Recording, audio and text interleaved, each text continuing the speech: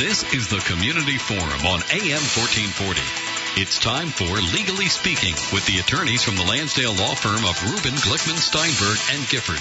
Talk live on WNPV by calling 215-855-8211, 215-723-2116, or toll free at 1-800-355-WNPV.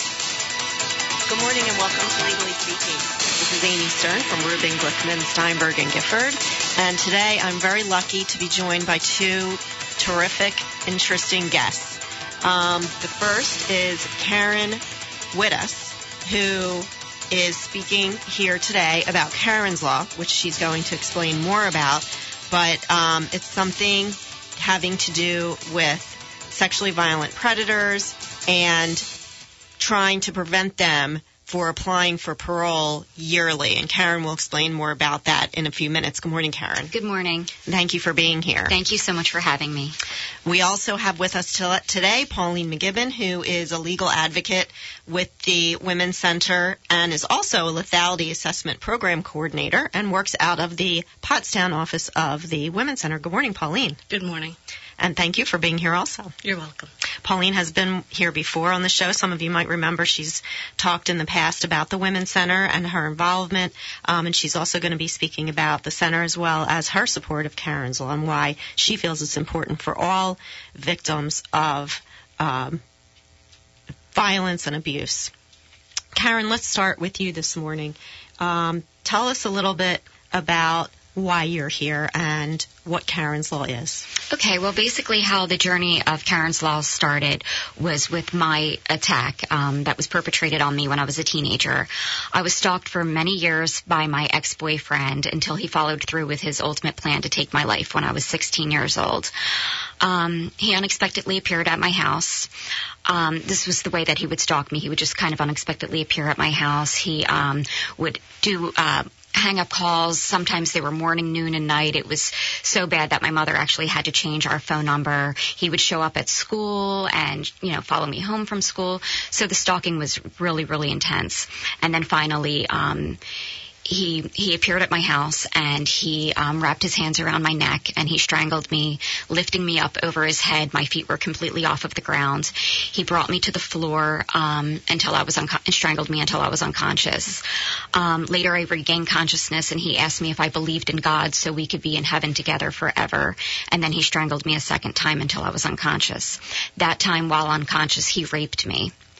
I woke up halfway through the rape, and then he began punching me in the face. I immediately blacked out again because um, he was hitting me closed fist in my eyes, and um, somehow, I don't know how, but I managed to regain consciousness a third time, and I found myself laying in another bedroom of my house, dressed in completely different clothes. He had removed all of my clothing and put me in a a dress from my closet that I was supposed to wear to a family friend's wedding that weekend. And um, it was just then that I noticed that he raised a 14 inch serrated butcher knife over his head and repeatedly stabbed me in the chest multiple times. Um, he then kissed me on the lips and he told me that he loved me. He told me that he was going to end his life by jumping off of the Tacony Palmyra Bridge. He wrapped me in bed sheets and he shoved me underneath of a bed and left me there to die in a pool of my own blood. I tried multiple times to escape. Um, I actually made it at one point to my bedroom where I called 911. He heard me on the phone with the uh, dispatcher. He ripped the phone out of my hand and he shoved me back into the other bedroom by my face and knocked me completely off of my feet and shoved me back underneath of the bed again and told me to die repeatedly. Um, somehow, when the timing was right, I managed to escape and I um, put my hand over my stab wounds to try to stop the bleeding. And I um, managed to make it up to my grandparents' house, who lived eight houses up the street from me. I staggered in the door. My grandfather, who was a World War II veteran, actually saved my life, and he he worked on me until the paramedics arrived. My blood pressure was 80 over nothing. I had a st- um, a collapsed lung and stab wounds that were so close to my heart that I needed to be transferred to another hospital because what they first took me to the first hospital, they needed to just kind of stabilize me. I needed to be transferred to another hospital for emergency exploratory surgery to see if my heart had been stabbed or not.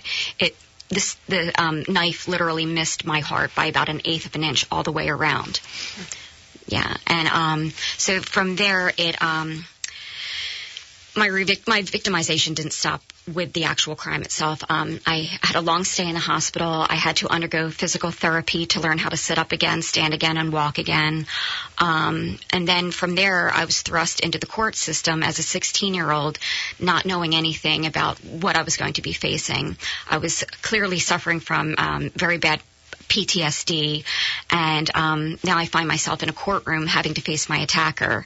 I didn't know how it was going to hit me. I was completely traumatized, and I was controlling, or I'm sorry, I was um, sobbing uncontrollably um, in the courtroom, and the judge basically told me, you know, if I don't stop that, he was just going to have to throw my case out for that day. Um, I was trembling, and um, my attacker was constantly leaning back on his chair trying to see me. And after I gave my testimony saying what he did to me that day, he mouthed the words, I love you to me. I said, I told the judge immediately and the judge told me to just ignore him. And then, um, his bail was set incredibly low. My attacker was actually able to get out on bail and um, we were never notified at that time. This was back in 1994. We were never notified at that time that my attacker was released on the streets until my attacker actually violated stay away orders and contacted me himself while out on bail. Um, he then came up for uh, trial, and he waived his rights to trial and pled guilty. And obviously, since I'm here and I survived the attack, he couldn't be charged with murder. He was charged, in fact, with um, rape and aggravated assault instead. So he was sentenced to 15 to 40 years. After 15 years, he was able to come up for parole, and that's how we got to Karen's Law. Wow, that's something. Um, that's a horrific story and it must have been hard for you, and it must be hard for you every time you retell it. I can't even imagine. Yeah. Thank you for being here today and for talking to us and to our listeners and telling us your story. Um, we are going to go to a break right now. Um, when we get back, we're going to talk more with Karen about Karen's Law and with Pauline from the Women's Center. We'll be right back. From Rubin, Glickman, Steinberg, and Gifford. And today I'm joined by two very special guests. Karen Widdoss, who is the supporter of and who the bill Karen's Law is named for, along with Pauline McGibbon, who is the legal advocate for the Montgomery County Women's Center um, in the Pottstown office. Um, once again, our phone numbers here are 215-855-8211, 215-723-2116, and 1-800-355-WNPV. Feel free to call us with any questions or comments that you have regarding our show today. Um, we'll be here until about noon with Karen and Pauline. Karen, before the break, you gave us your heart-wrenching story about um, the incident that you went through that took place um, that so brutally affected you and, and your life. Um, thank you for that. And hopefully that gives people more of an understanding of why you're here and why you're doing what you're doing. So tell us about Karen's Law. Okay, well, um, once he was incarcerated, like I said, he was sentenced to 15 to 40 years, um, and after 15 years, he is able to apply for parole. Um, while incarcerated, he contacted contacted me numerous times by writing me letters, calling me, different things like that, even dedicating love songs to me from within prison. Um, they couldn't give him any more time for something like that. It's just the way it is in prison. Unfortunately, it seems like the criminals have more rights than than the actual victims. And these are things I think most people don't think about or realize. Most people think, and, and probably most of our listeners out there just think somebody's convicted of a horrible thing like this, they go away, that's the end of it. But that's not the end, Not at all. unfortunately, and that's what you're here to tell us. Yes, he he harassed me um, and violated stay away orders numerous times from in prison. So um, yeah, they don't tack on any more time for that when an inmate violates these stay away orders and attacks their uh, their victims. So um, these were things that I had to go through. So it wasn't even like he was incarcerated and I could feel safe. I was constantly being re-victimized by him within those 15 years. So he came up for parole 15 years later, and that was in 2009. Fortunately, he was denied parole, and the parole board said that they didn't want to review him again for five more years. When he was denied parole, did they ask you for a statement at that time? Yes, it, at that time it was impact statements. So the victims could just write an impact statement on how the crime has affected them, and then we send it into the parole board and they make the decision.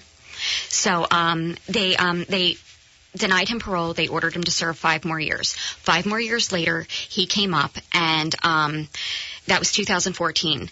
At this point, Ellen's Law had already passed, and that made it possible for crime victims to actually go and speak before the parole board so they could see that we had a face, they could actually hear our voice, see how it impacted us as people as opposed to pieces of paper. And just so people know, Ellen's Law came about as a result of the murder of Ellen Robb. Yep. Um, and th- this was several years ago in Philadelphia. Some of our listeners might remember this this horrible incident that took place. She was killed by her husband um, in their home. Um, her brother, um, Gary Gregory, Gary Gregory, Ellen's brother, is has um, helped Ellen's Law pass, mm-hmm. and that is allowing victims to testify um, when somebody when an offender comes up for parole. So that's what yes. Karen's referring to. Yes, and he's a huge supporter of Karen's Law as well. He actually spoke at the Karen's Law rally last year, and um, so now I was able to actually speak before the parole board. And that had such tremendous impact that the parole board ordered my attacker to serve his maximum sentence, meaning they didn't want to review him again. So he all, already served 20 years. It meant that he had 20 more years to go. I was relieved. My family were, was relieved that I didn't have to go back and testify and maybe my nightmare could be over for at least 20 more years. But unfortunately, under current Pennsylvania law, that is not the fact. The fact is that Pennsylvania inmates, no matter what the parole board orders, can come up and apply for parole on their own every single year, regardless of what the parole board so orders. So even though the parole board said we want him back for 20 years, it doesn't matter. It doesn't he matter. He can reapply every year for parole. Every single year. And all that does is re-traumatizes and re-victimizes the survivors of these egregious crimes. So, um, shortly after he was denied in order to serve his maximum sentence, he did just that. He applied for parole on his own, forcing me to have to go back to Harrisburg and testify to the parole board yet again. So it's an ongoing cycle, and it's like the um, the survivors never have a chance to actually breathe in between parole processes. So what Karen's law does is, is it extends the parole application waiting period for sexually violent predators. Now, this is for sexually violent predators. It's not like if um, you know someone you know has a drug offense or a DUI or something like that. This is for sexually violent predators, and it extends the parole application waiting period from every one year to every three years So it doesn't take the actual um, rights away from these sexually violent, violent offenders. So, you know, there shouldn't really be too much opposition from either side, but it gives the victims of these egregious crimes some time to breathe in between parole processes. Right, because it must be traumatizing not only to think about the possibility of your offender potentially being released from prison, yes. but also you having to go through and relive the situation and the victimization that you've already you know, that you've tried to put behind you and every having to do year. it every year. Yep. And it's at his beck and call. So if he doesn't want to apply within a year, maybe he might want to apply within two years. So you're constantly on edge waiting for your perpetrator to re-victimize you all over again. Now, my understanding is that State Senator John Sabatina Jr. Um, has put the bill up uh, last year. He's the one who put it up, and um, today on WNPV's morning program, Daryl Berger spoke with Senator Sabatina, who's the prime sponsor of Karen's Law, and he said that it was introduced again this January after passing in the Senate Judiciary Committee in October with unanimous support. And we are now going to play a part of Daryl's conversation with the senator. I gather that her, her ex boyfriend served a, a minimum, which was significant, 15 years uh, in prison, but now this parole comes up year after year, and what you're proposing is that it wouldn't be an, an annual thing, right? Correct, correct. For cert, for sexually violent uh, convictions, convictions of sexually violent crimes, my uh, Karen's law proposes that we push it from one year to three years, just to uh, give the victim some sort of break. From a legislative standpoint, this doesn't seem to me like it ought to be a heavy lift. What, what is, and I know this was in the previous session, it was, what was the, the legislative progress it made? We, I believe we got it through the Senate and it stalled in the House. Hmm. Uh, oftentimes, uh, bills stall in, in one chamber or the other, and uh, uh, it's you know it, it's my goal to guide it through the uh, both chambers of the House and onto the governor's desk this year. it, it I don't know if it, there was a specific reason for its holdup other than uh, uh, I guess lack of attention or, or lack of uh, information out there. But hmm but we're working on it on a daily basis, and we're uh, we're hopeful that we can get it done this month, this year. It's almost uh, an assault on common sense that somebody would have to do this year after year. Yes, yeah, it's uh, you know I don't you know I, a lot of times we are uh, so focused on the uh, the uh, criminals' rights, the convicted criminals' rights, that we we miss the big picture. We miss the you know there's another party involved, and, and they have to uh, be re-victimized. So it's you know I, I think it, this bill focuses on victims' rights as opposed to uh, criminals' rights. I'm sure that you know much more about the legislative process than I do, but would it help to get a, uh, a sponsor in the House and maybe help push this thing through? Yeah, we're working on that. You know, a lot of times there are competing bills, so one will originate in the House and one will originate in the Senate. Yeah. It's kind of a race to see which which complete, you know, which is completed the first. Uh, but yeah, well, I'm looking for uh, you know some some guidance over in the House. Yeah, I, I, you know, I'm, I don't want to speak for him, but one of our local legislators, Todd Stevens, has been a frequent guest on this this program. Uh, he is um, a former assistant district attorney in Montgomery County. I, I consider him a, a real pro law enforcement guy, and I, I find it hard to believe that he wouldn't be a, a sponsor of this in the House to help get it through that that process. Yeah, I, I know Todd. I'm, I'm friends with Todd. Actually, he and I served on a couple of boards together in uh, criminal uh, criminal justice. Yeah, it's not a bad idea actually to reach out to Todd. Maybe we can uh, pull this one in together. And that was State Senator John Sabatina Jr. talking about the status right now of Karen's Law and where it is going through um, getting signed by the governor, which hopefully he thinks will happen this year. But Karen, I wanted to, to ask you, um, the senator had mentioned um, potentially have, get, having people or getting people involved with reaching out to um, other legislatures about this and other senators and representatives. What would you suggest in that regard? Okay, well, currently we are waiting for uh, Chairwoman Lisa Baker's office to consider Karen's Law for a vote in the Senate Judiciary Committee. It passed the Senate Judiciary Committee last year um, with unanimous bipartisan support, which was great.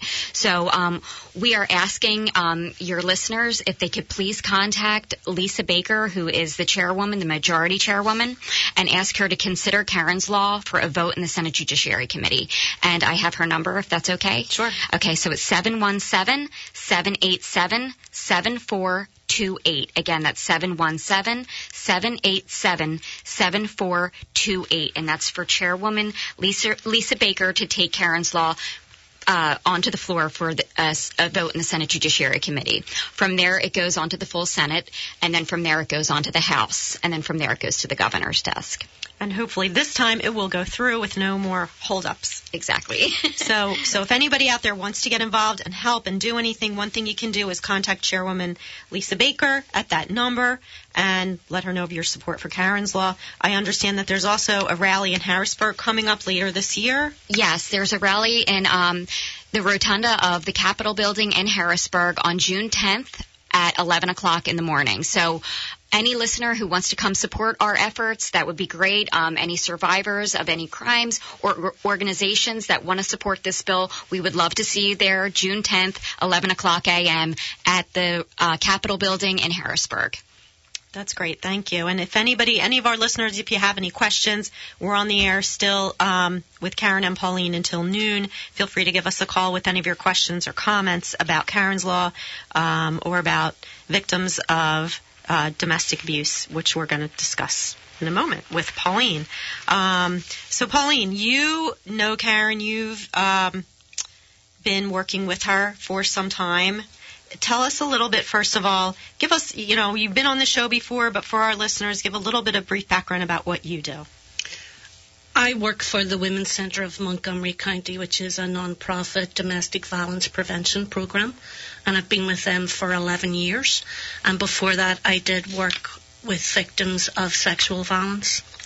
The Women's Centre has offices throughout Montgomery County, mainly in Elkins Park, Pottstown, Colmar, Bryn Mawr.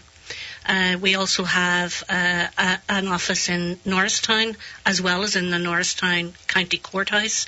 We have uh, three legal advocacy projects, one at Lansdale Hospital, one at Abington and one at Holy Redeemer. And so we, we, we are out over a wide catchment area. Uh, one of our uh, main uh, goals is to assist victims of, of violence as they go through the process. And it was at an advocacy event that I, I met Karen about a year ago. And she told me about her, her campaign. Right now, it, the bill is for uh, uh, offenders who have sexually violent predator uh, convictions. But my view is that once Karen's Law is passed, it will be a short step to that same process being applied to all victims of crime.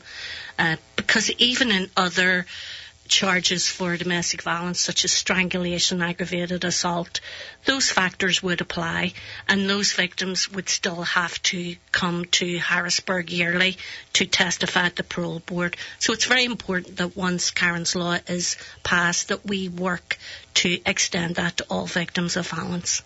And why do you feel that having a victim testify um, at the parole board is is so important? Well, it's part of the overall safety planning process that begins the day someone realizes that they are a victim of abuse and sometimes never ends. When when Karen first told me her story, and I've heard her story uh, told a few times, the thing that, that strikes me about it is that when she escaped her abuser, what she did was put in action a safety plan that she had developed with her mother. Just because her mother was a single parent, they lived in the same street as her grandparents. They lived eight doors away. Karen was told if you ever have a problem, if anything ever happens, you run as fast as you can to your grandparents' house. And that's what she did. She, she enacted her safety plan. And safety planning is something that's very essential to all victims and that we do help them with. Safety planning doesn't end the day that an offender is sent to jail. In many ways, it begins then. It just begins a new phase. Victims are always looking to see when that person might come up for probation and parole. And when they can have an input into that uh, process, they absolutely, absolutely should take advantage of it.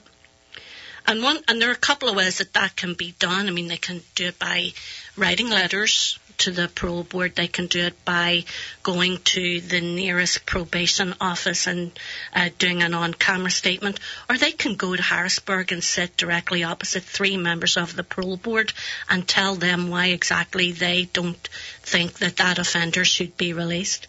And in my experience, that's the most effective method of doing it.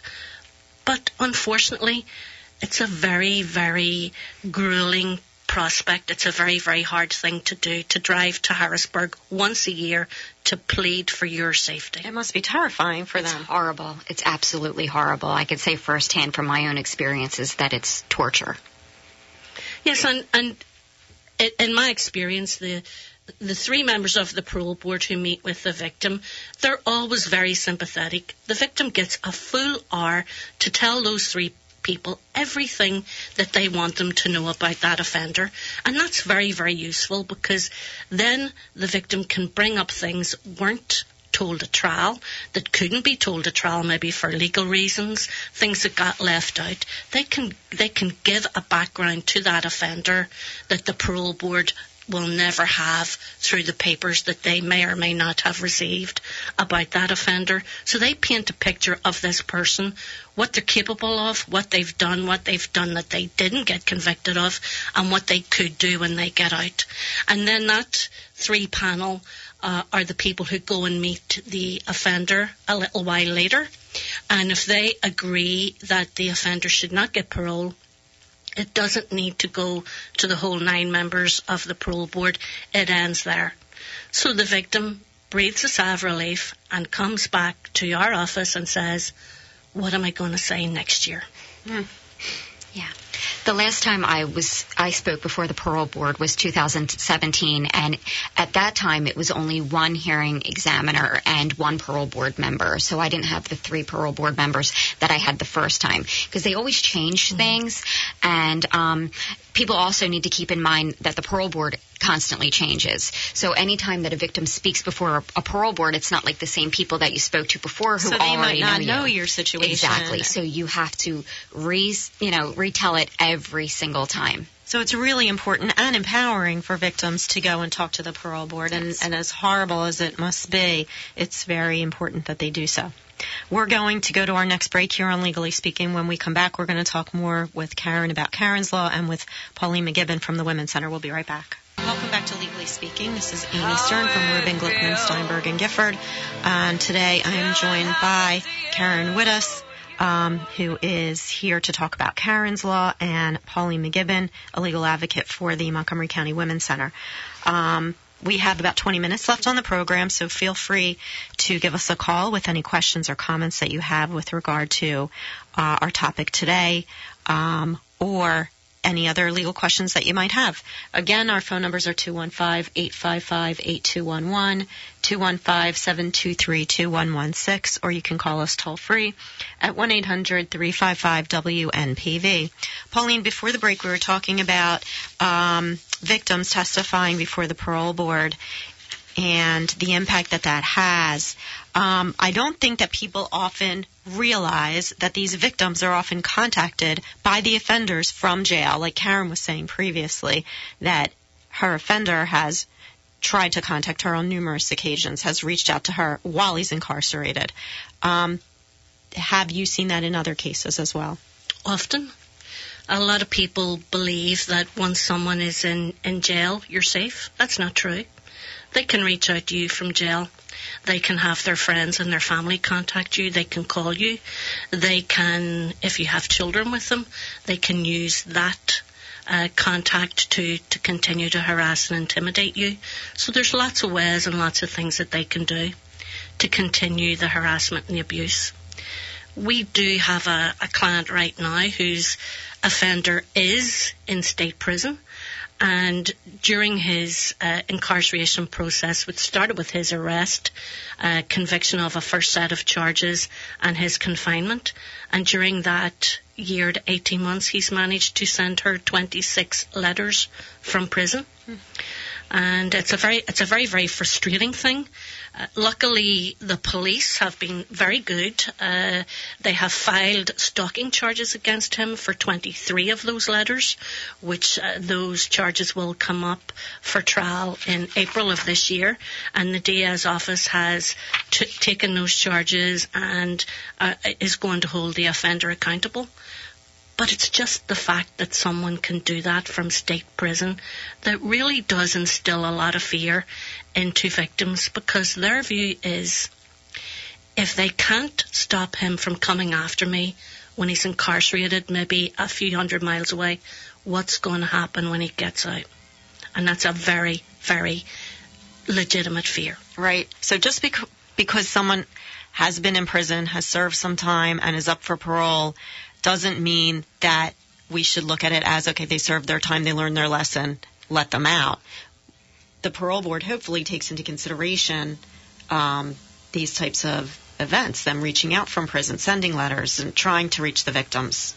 Yes, and when when I work with victims who are going to talk to the parole board, I I will say to them, assume nothing. Assume that the parole board knows nothing about this offender and you're going to be the one who educates them.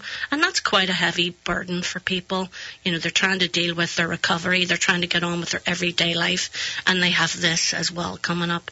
But it works. And whenever the parole board go to talk to an offender, they may have done some programs in prison. They may uh, express remorse. Uh, they may seem to be taking steps to rehabilitation. But if they have had a lot of good information coming from other sources, then they can make an assessment as to whether those those things are sincere or not, and they can, you know, they can uh, recommend that they do more programs in, in prison. That happens quite often, and that they, they will consider their application at another time. Then it goes back to the victim, and they have to prepare what they're going to say the following year. Mm. It's a heavy burden. And there are other things as well that uh, victims can do to protect themselves. As I say, if an offender reaches out while they're incarcerated, they should report those things to the police. If they have a protection order, uh, then the police can also file contempt charges for violating the protection order, which the victim will then be able to talk to the parole board about again when it comes up for another parole hearing. They can uh, take advantage of a, a, system called PA SAVIN, which is an offender notification process, which allows the victim to be informed as to where that offender is being held, if they're ever moved, if anything happens that, that they should know about, because it's very important to know where your offender is. And these are all things that the Women's Center can help victims with, um, the P- getting a PFA or a protection order, like you said, and finding out about the SAVIN program. Yes, we can we can help people with both of those things.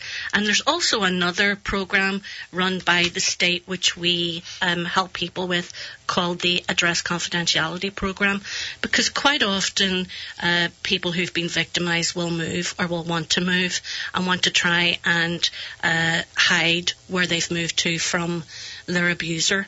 Now, in, in modern day, it's very hard to hide yourself. Uh, but this program allows a victim's new address to become confidential so that they can't find it by Googling them or by having them in, uh, involved in court proceedings, such as suing them for custody matters or return of property or any of those things. Because when you do sue somebody, your address usually appears on the papers. But if you're in address confidentiality program, that can't be done. Again, that's a free program, and uh, some people can have that for three years and renew it again at the end of the three years if they're a victim of violence or stalking. That's good to know. I, I didn't even know about that. Um, because you're right, in this world today, it is really easy to find someone. Yes, it is. Um, also, speaking about protection from abuse orders, if someone is released from prison and offender, can the victim go and get a PFA, and under what circumstances? Well, they can if, if they've had no contact with the offender for the duration of the uh, of the sentence that it might be a little bit harder because the rules say that there has to have been recent incidents of abuse or threats of abuse. But if that person is say, as in your case, Karen, is a sexually violent predator, um, I think a PFA court would look upon that as being part of the safety plan and may well consider it. But quite often, as we've said, people have had contact, if not from the offender, maybe from their family and friends who've reached out to give messages to put pressure on, and that could be used in your application for a protection order. Once you have that protection order, if the offender or people acting on his behalf uh, contact you, then he can he or she can be held accountable for that. PFAs work. Uh, they're very good at drawing a boundary around somebody, and they're a very important part of the safety planning process. And the Women's Center advocates also assist uh, victims of abuse, not just sexually violent abuse, but also um, domestic abuse in obtaining a PFA. Yes, and, and we have an office in the courthouse itself in Norristown where you, you have to go to apply for your protection order, and we can help people prepare their petitions.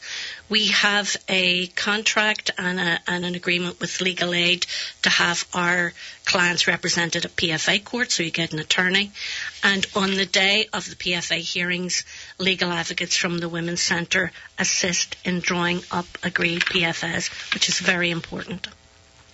So if if any of our listeners know anyone who is potentially going through an abusive situation, if you have any friends or family, coworkers, um, who's going through something um, th- that you believe is an abusive situation in their own home, um, Pauline, what would you recommend that they do? Well, I would say they should call our hotline, 1 800 773 2424. Uh, that can be the, the hardest call ever to make because then you have to put a name to what's happening to you. When you talk to us, everything that you say is 100% confidential. We do not share that information with anyone else. And anything that we do for you will is always free. We never ask for anything in return. And we don't tell people what to do that's their decision. We just guide them through the process, and when they're ready to move on to the next part of it, we're there to provide the support and resources that they need. But it's very important to make that call, and if you do nothing else, start with your safety plan. That's important. Um, we are going to go to our last break of the show here. Um, and when we come back, we're going to finish up talking some more with Karen about Karen's Law and with Pauline McGibbon from the Women's Center. And we'll be right back. Welcome back to Legally Speaking. This is Amy Stern from Rubin Glickman, Steinberg, and Gifford here in Lansdale. And uh, today I'm joined by Karen Widdoss, who is supporting Karen's Law and is here to talk about that, along with Pauline McGibbon from the Montgomery County Women's Center. Um, we have about 10 minutes left of the program, so if any of our listeners have any questions or comments, feel free to reach us before noon. Again, our numbers are 215 855 8211, 215 723 2116 or you can call us toll free at 1 800 355 WNPV. Um, so, Pauline, before the break, we were talking about the Women's Center and PFAs and how those work. And you were saying that the Women's Center has people available in the courthouse to assist in um, helping victims get a PFA uh, when necessary. Um, I wanted to talk a little bit about you. You also had mentioned, you know, to people what to do if they're in an abusive situation. That the Women's Center has the hotline and people who you can call and and give get advice from. But how about the person who um, knows someone or has a, a family member or a friend who they believe is in an abusive situation um, and and won't leave? How do you how do you get them to leave? Can you get them to leave? How do you help them?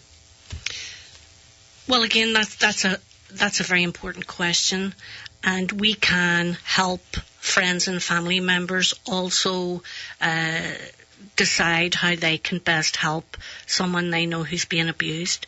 And the most important thing is to listen to them, to keep a an open dialogue, to not be judgmental. And again, you know, there's there's always a lot of victim blaming because the question is, when are you going to leave? Why don't you just leave? And that is that puts all of the responsibility for what's going on in that relationship on the victim instead of where it rests, which is with the abuser. And many victims of domestic violence will say, I can't leave because that's when he'll kill me. And the research shows that in homicides, 75% of those domestic violence homicides, the abuse did not get worse until the victim left or tried to leave, and then the homicide happened. And we see that exactly what happened to Ellen Robb. Exactly what happened, yes. It's that leaving that triggers the reaction. And so, for a lot of victims, it's easier just to stay in place. And when they are being put under pressure from family and friends, why don't you leave? Why do you allow yourself to be treated like that? You need to get out. That puts a lot more pressure on them and makes them feel like they're being very judged. So you can learn ways of, of talking to people and helping them develop options. And again, it's all about the safety planning, even for people who choose to stay. So if you know somebody who's going through an abusive situation and they won't call, you can call yourself. Yes, you get, should. Get you advice. should. Yes. Okay. I just wanted to give. I know there's some. Um, signs that you could be in an abusive relationship. And I wanted to just talk about those real briefly because we only have a few minutes left. But I think most people think, okay, domestic abuse is physical abuse and and abuse is just physical. And I'm, if I'm not being hit then I'm not being abused. But there are other things. There are other signs. And I just wanted to mention you mention to these to our listeners um, some of the signs are you constantly worry about your partner's moods and change your behavior to deal with them. You feel like you're walking on eggshells. Your partner seems like two different people. You are afraid of your partner's temper you don't see family or friends to avoid your partner's jealousy or anger. Your partner wants to control where you go and what you do. Partner needs to be wants to be needed for money or to control your money. You're constantly accused of having affairs. You are ridiculed, put down, or humiliated. You find yourself doing anything to avoid anger. Your boyfriend or girlfriend is so jealous and bossy that dating is scary. Your partner blames you for all the failures in the relationship. You are accused of being to blame for your partner's pain. Your partner screams at you, throws things, breaks or steals things. So these are non-physically violent signs of being in an abusive situation. Um, do you see these people going through these types of things as well as physical abuse? All the time. And do you think some of these things lead to physical abuse? Yes, they do. And in some controlling relationships, there doesn't have to be physical abuse. It's just the threat of it hanging over a person all of the time is enough to keep them in line and keep them doing what their abuser wants. The whole thing is about control. In my case, my um, my ex boyfriend never laid a hand on me until the day that he tried to murder me. Did you see some of these signs? Yes, as you were reading, it was just ringing so true. Yes, um, he was very controlling. He didn't want me to have any other friends but him. Um, yeah, so anytime that he felt threatened in any way, that it wasn't just him and only him in in his life. And um, yeah, but like I said, there was no physical abuse whatsoever until the day that he tried to murder me. And you were only 16 years old. Yes. Yes, 16. Hmm. That's unbelievable. I know the Women's Center also does uh, education in schools um, to now to uh, inform people of that age, young people, of abuse and what it is and how to look out for it. Yeah, so the earlier you start, the better. And when we talk to uh, younger children and even high school students, we talk about setting boundaries, not just in dating relationships, but in all relationships, because that's what keeps people uh, protected from abuse from other uh, people and other methods as well. And, and I think one thing that we really just need to think about here is that this what we're talking about this morning, it's not Karen's issue and it's not the Women's Centre issue. It's everybody's issue because one in three people are affected by some form of abuse.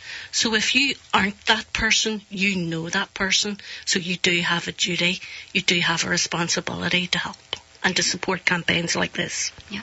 Right, that's very, very important information. Karen, in our last couple of minutes, um, I wanted you to give some information to our listeners about what they can do, how they can become involved, how they can help. Okay, well, um, you can reach out to your uh, local senators and ask them to co-sponsor Karen's Law, or you can, like we said in the beginning of the show, um, contact Chairwoman Lisa Baker's office and ask her to consider Karen's Law for a vote in the Senate Judiciary Committee. Her number is 717-787-7428. If you'd like to learn more about Karen's Law, you could visit us on our Facebook page. It's just facebook.com slash Karen's Law, or just look us in the search engine and um, we'll come up. But um, the information about the bill is on our Facebook page. And the rally information once again? The rally is going to be held on June 10th at 11 a.m. at uh, the Capitol in Harrisburg. Great. And Pauline, can you just give the contact information for the Montgomery County Women's Center and the hotline number one more time? Uh, once again, it's 1 800 773 2424. We also have a, a, Facebook page which keeps people informed about what's going on, and we can be contacted via email on our website as well. Terrific. Thank you. And thank you both for being here today. Um, we hope that you, our listeners out there, will support Karen's Law. It's very important. Again, it's to um, prevent the sexually violent predators from coming up for parole every single year and for the victims having to go through the process of testifying before the parole board every year. It would stretch it out to every three years, which seems, again, like what Daryl said this morning, common sense. It will also save taxpayer dollars by cutting the number of parole hearings that the state boards have to review, and it will join existing laws that extend the waiting period for parole applications made by specific violent offenders. So we hope you will reach out and support Karen's Law. Thank you, Karen, and thank you, Pauline, for joining me today on Legally Speaking. Thank you. Thank you.